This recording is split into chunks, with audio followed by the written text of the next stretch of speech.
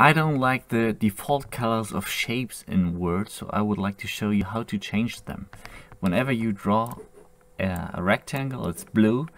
Um, what you can do is you can change the color to uh, white and then you can set it as default and as soon as you draw another one uh, this is going to be white uh, the problem is as if you open up a new document um, the changes are gone. It's blue again. So I would like to show you how to change that.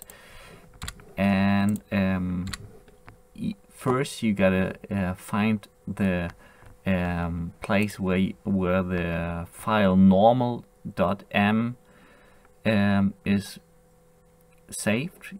That uh, is under um, advanced and down here you find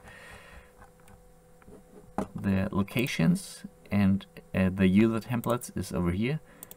And um, I copy this close and open up a new file and browse. And now I'm gonna add, uh, put in here um, this and press enter and there you go. You have the normal file. And I am going to open it. And then I can draw a rectangle add the shape to uh, the color of the shape to white and the outlines to black. And I like to have it 3 4 and I have to do that as well for a line because the word um, separates these things there are shapes and there are lines. So I need to do it as well for line and change the outline color to black and 3 fourth. And now I'm gonna need to make this or set it as a default line set this as a default shape.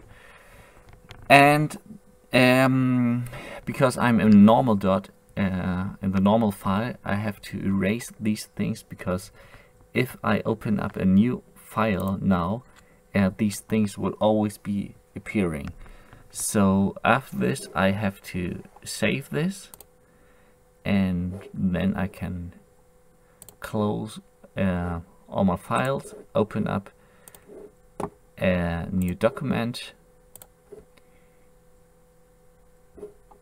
and take a look and this works. If you need some support or you want to suggest some uh, topics for new videos or you want to exchange some documents, I'd be glad if you join my Discord channel. The uh, link for the uh, channel is in the video description, so I hope to see you there.